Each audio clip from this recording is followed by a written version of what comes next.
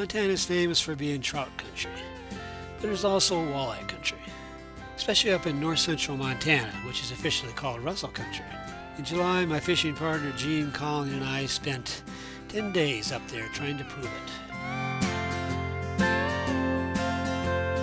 Our first stop was Fresno Reservoir, just west of Havre. There, with the help of local anglers Carolyn Anderson, who is also a well known artist, and Charlie Fichard, we had two days of terrific walleye fishing. We fished the rocky points on both sides of the reservoir.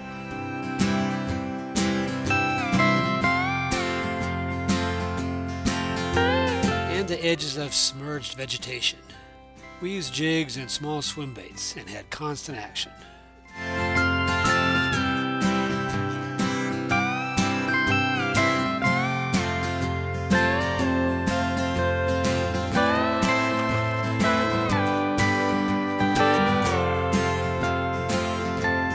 Nothing huge, but lots of eating sized walleyes. Besides the fishing, we enjoyed the great scenery all around Fresno.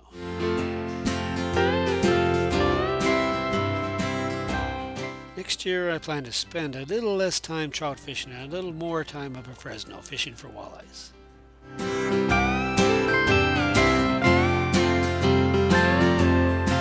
After Fresno, we made a quick stop at Beaver Creek Reservoir, just south of Havre. This fairly small reservoir has a 10 horsepower limit, so we couldn't fish it with my boat. But we did manage to hook up with fisheries biologist Cody Nagel and have a little chat about fishing on Beaver Creek Reservoir. He told us that even though Beaver Creek Reservoir has some huge walleyes, it wasn't fished very much.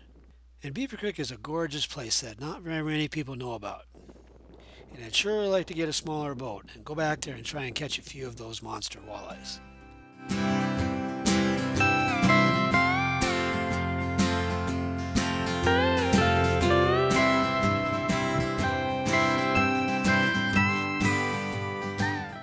Our next stop was Tiber Reservoir, just southwest of Chester.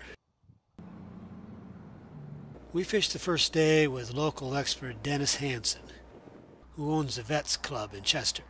We even got to fish in his spiffy Team Lund boat. The fishing wasn't red hot while we were at Tiber, but we did manage to catch a few walleyes. Tiber is a huge reservoir and beautiful too, with well developed campgrounds, and it's basically a bonanza for all kinds of water based recreation.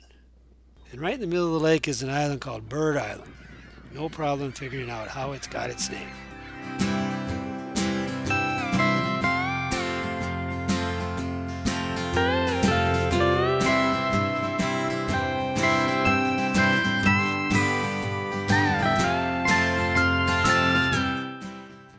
Our last stop was Lake Frances, which is basically right in the town of Valier.